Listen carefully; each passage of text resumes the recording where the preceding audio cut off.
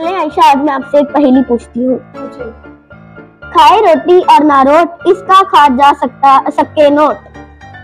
अच्छा चलो सोचने लो बटवा। सही। चलो मेरा अब मैं आपसे एक पहेली पूछूँगी। पूछो। हाथ से दस को काटे प्यासा होकर पत्थर चाटे। आसान है लेकिन सोचने दो नेल कटर। सही।